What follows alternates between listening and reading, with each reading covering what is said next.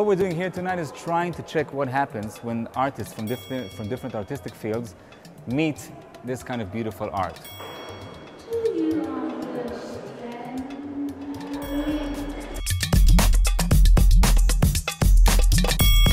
We took like around 60 different artists from different, different artistic fields, from dance and from poetry and from literature and from theater.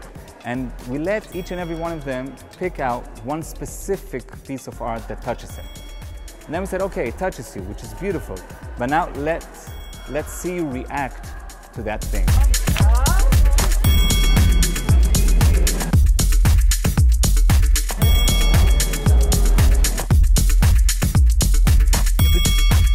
It's very poetic, I think, because maybe this is what art is about, and maybe this is what Jerusalem is about.